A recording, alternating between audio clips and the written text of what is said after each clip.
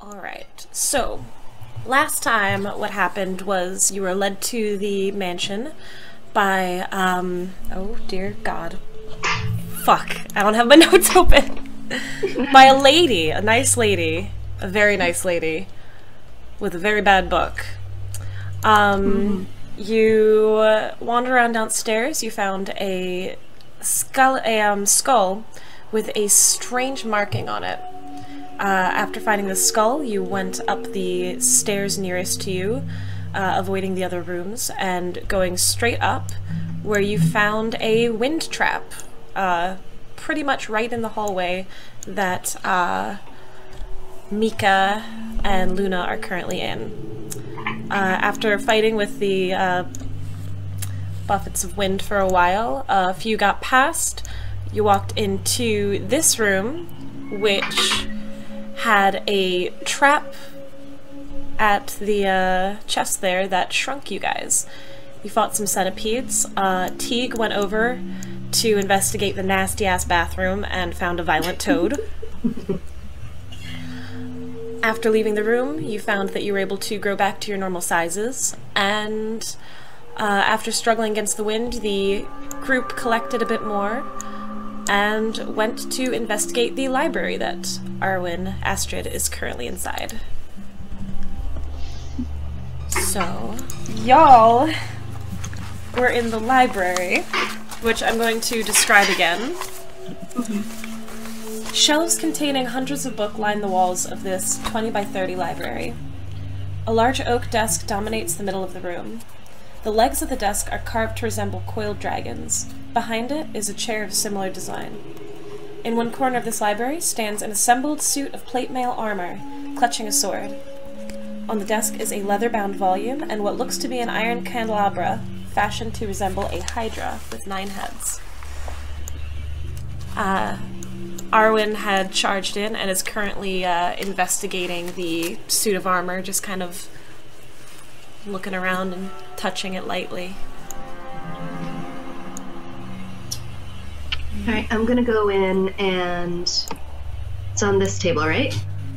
The book? Uh, yes. Okay. Cool. So I'm gonna go in and look at the book. Hmm. Okay. What Um, language is it in? it's leather bound. It. You can see that it's written in common, but uh, it kind of seems like a very mundane spell book.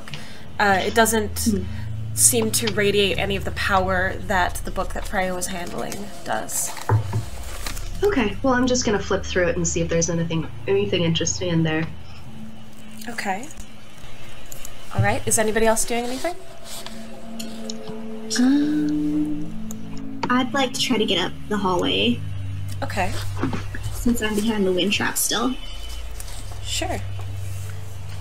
I'm going to cautiously stand in the doorway, seeing as I'm still a little injured from our my last encounter with the death toad. Okay.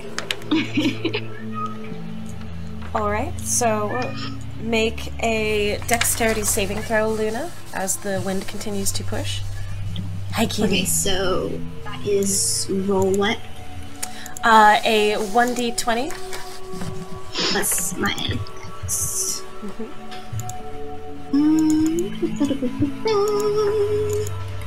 two. Yay! Yes. Okay. So you uh, easily move past, and you can get to the hall. Uh, Freya is nervously following after Amelia.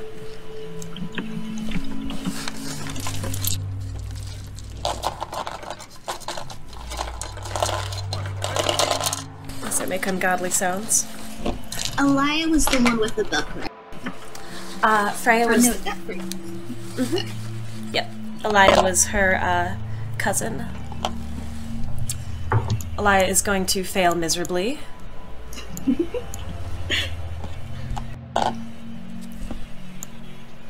Is that her way back there? Mm-hmm. Yep. Cool. Something.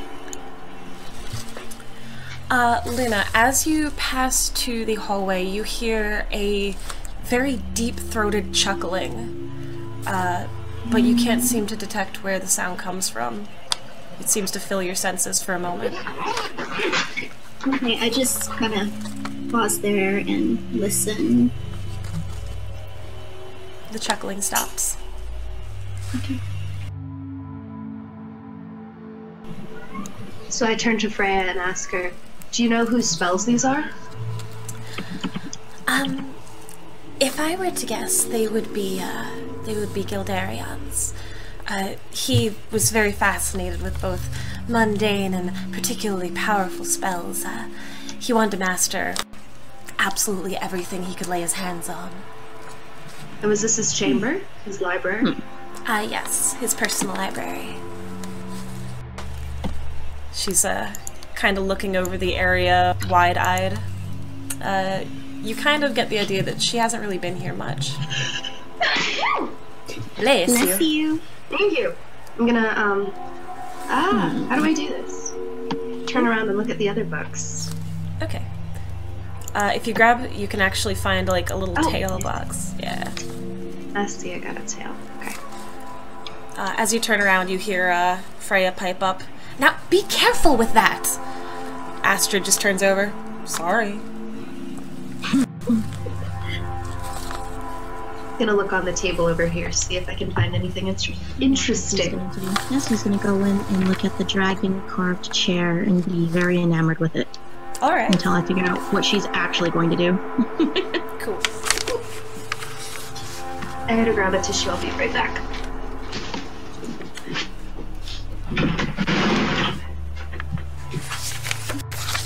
Do you guys honestly think this is what dragons truly look like?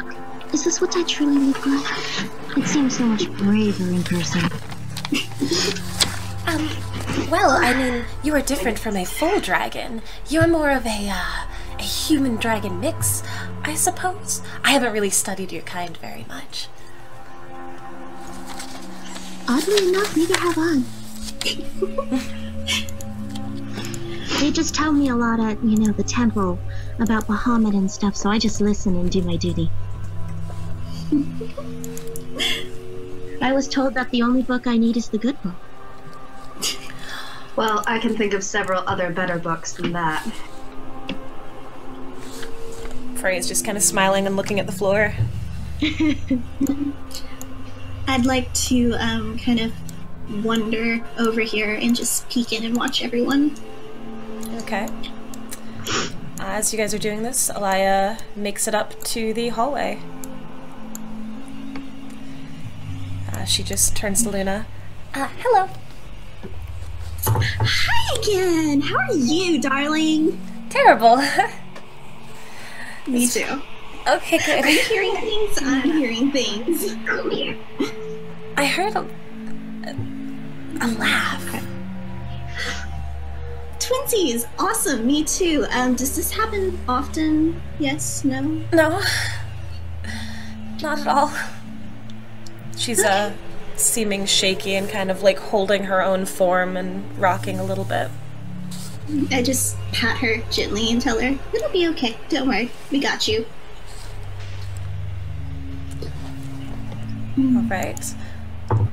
Uh, Astrid is going to wander and continually looking at the books, but uh, doesn't seem to find anything interesting. Uh, Ada, you feel a hand on your back, just as if it has outstretched claws. It's not damaging you, but you feel a scratch that seems to go clear through your armor and clothing, and then it disappears. All right. I whip around. What was that? I felt something on my back, like a claw. Oh, uh, Ada, I do believe this is called a chair. It has dragons on it. They're quite beautiful dragons. Um, oh, I- were you I referring to something this. else? Yes, I was referring to something else. No one saw anything, did they? Um, I, I was looking at you. Nothing touched you. Um, do you have a uh, how to put this lightly? A history of feeling things? Of course not.